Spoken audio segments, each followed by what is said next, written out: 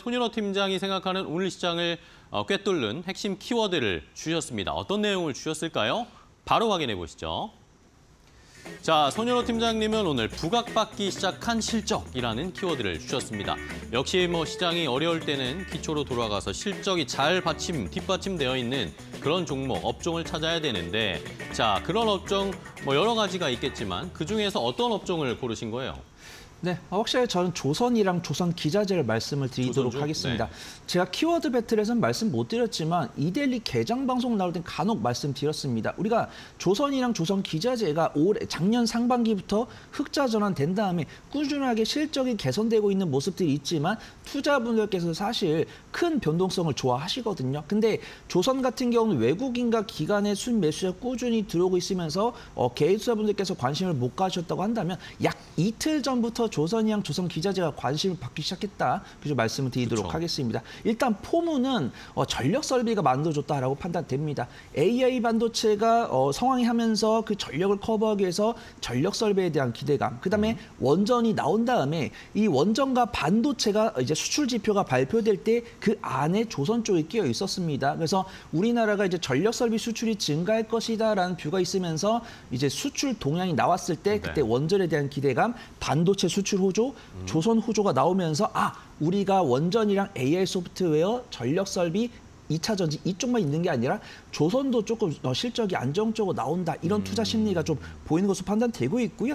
뉴스도 많습니다. 일단 2월 같은 경우는 한국 조선 수주가 중국을 제쳤다라고 나오는데 이 부분은 좀 LNG선 부분입니다. 우리가 기본적인 선박 부분에서 절대치는 중국이 1위지만 이 약간 저가형 선박을 제외하고 LNG선처럼 고부가치 선박에서는 우리나라가 꾸준하게 1등을 달리고 있고요. 네. 그다음에 도크라는 얘기 많이 들어보셨을 겁니다. 이제 조선할 수 있는 공간을 말하죠. 이 조선이 도크가 증가 없이 3년치, 4년치 수주가 나온다고 한다면 조선이랑 조선 기자재 관련 종목들의 실적이 꾸준하게 나올 것이고 일단 HD 현대가 포문을 열어 주었고 네이버와의 어떤 조선 해운에 대해서 AI도 적용을 한다고 했기 때문에 더 이상 조선과 조선 기자재를 실적 기반만 뿐이 아니라 성장성 까지도 가져갈 수 있다고 판단되고 있고요. 외국인 외국인과 기관의 기반으로 한 거래 대금 증가를 하고 있기 때문에 유심히 좀 지켜봐야 된다. 그렇게 좀 판단을 하고 있습니다. 네, 좋습니다.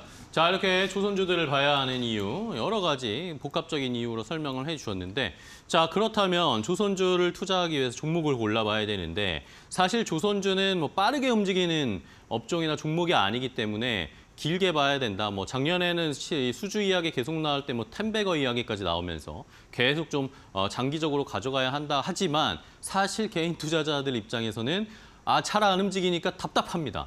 아, 이 trading 하기도 힘들고 어떻게 어떤 종목으로 좀 공략을 해볼까요?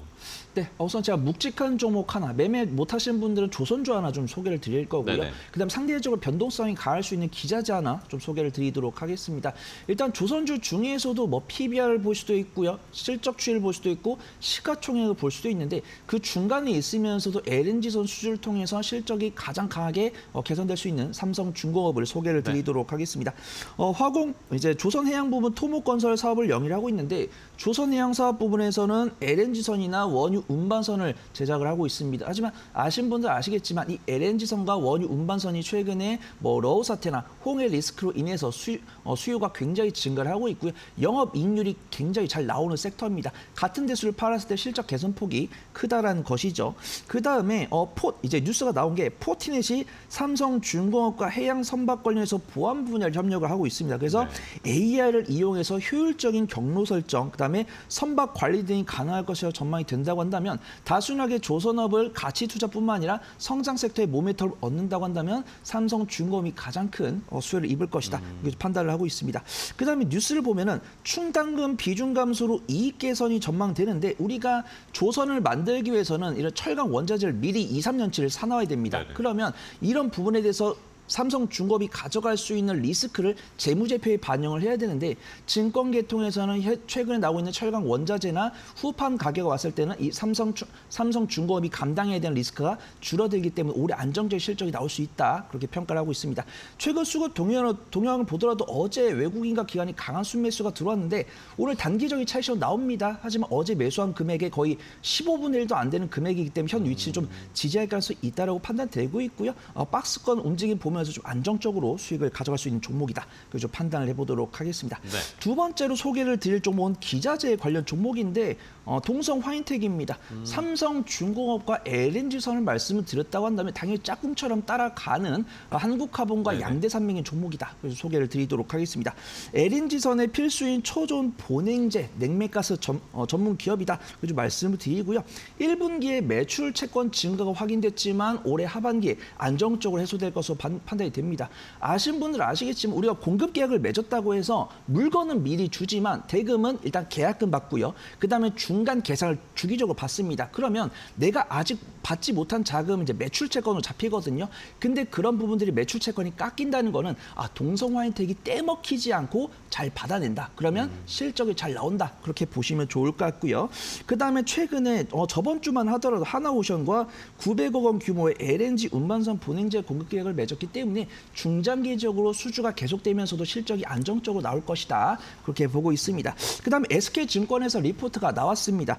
증설로 인해서 실적 선망이 전망이 됩니다. 만약에 우리가 이렇게 들어오는 수주를 내가 캐파 증설 없이 그냥 쳐내기만 하면은 실적이 유지가 될 건데 어, 동성 화이텍 같은 경우는 어, 지금 190억 원을 들여서 추가 증설을 진행한다고 합니다. 그러면 증설이 이제 올해 상반기에 완료가 되면은 그 실적이 하반기부터 점진적으로 우상향 될 것이기 때문에 실적이 잘 나온다는 것은 저평가 매도를 가져갈 가능성이 있다. 그렇게 보는 거죠.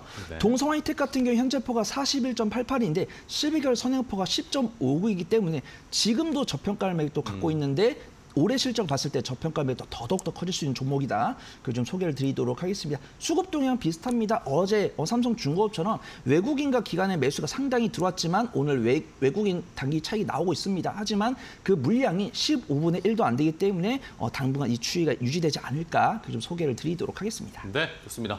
자, 삼성중공업과 동성화인텍 두 가지 확인을 해봤고요. 자, 그럼 이 키워드를 저희가 함께 반 소장님께도 알려드렸어요. 반종민 소장님은 조선주 어떤 종목 보십니까? 네, 하나 오션 보고요. 하나 오션.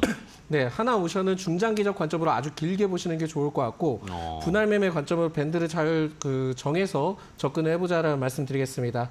일단 뭐 네, 죄송합니다. LNG선 그 해양 플랜트 부분에 대해서 높은 경쟁력을 보유한 기업이기도 한데 어, 저는 이 장기적으로 좀 보셔야 될 게 뭐냐 하면 그 작년에 1조 4천억 가량의 유상증자를 좀 발표를 했었 습니다. 근데 상장 그 발행가액에 대해서도 16,730원이고 지금 현재 프리미엄을 따졌을 때는 약간 좀 높기는 하거든요. 높긴 하지만은 실제 발행을 했던 것에 비해서 그렇게 저는 높다라고 생각이 들지 않습니다. 그렇다 보니까 매달마다 좀 분할 매매 관점으로 계속 좀 접근을 해보셔도 좋을 것 같다라는 말씀드리겠고 이 이유를 말씀드리자면은 청약률이 106% 정도 됩니다. 근데 이게 과거에 그 삼성중공업도 유상자 대규모 유상자를 발행을 했을 때 재무 구조가 개선이 되면서 크게 올라갔던 것처럼 결국 하나 오션도 이러한 같은 흐름들을 유지할 가능성이 높다 어. 보니까 중장기적 관점으로 좀 길게 보자라는 말씀 드리겠고요.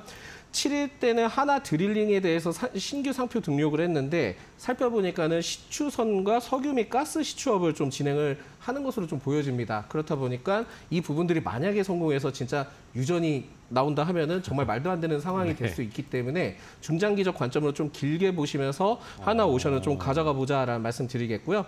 지금 차트상으로 봤을 때는 그렇게 나쁘지는 않습니다만 어느 정도 매물 소화를 통해서 2만 8천 원까지 올라가게 된다 한다면 3만 원대 다시 좀 저항이 나올 수 있기 때문에 대략 한 2만 원대 초반 그리고 3만 원대 사이대를 박스권으로 좀 노리시면서 중장기적으로 계속 적금식으로 가져가 보는 것도 좋은 전략이다라는 말씀드리겠습니다. 네, 알겠습니다.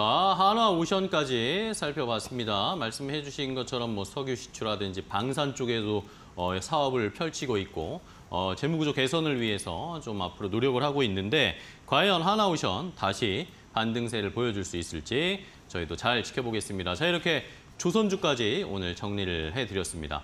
오늘 두 분과 함께 키워드로 시장을 정리를 해봤는데요. 오늘 두 분 또 좋은 전략 알려주셔서 감사하고 다음 시간에 또 뵙도록 하겠습니다. 오늘 고생 많으셨습니다. 고맙습니다.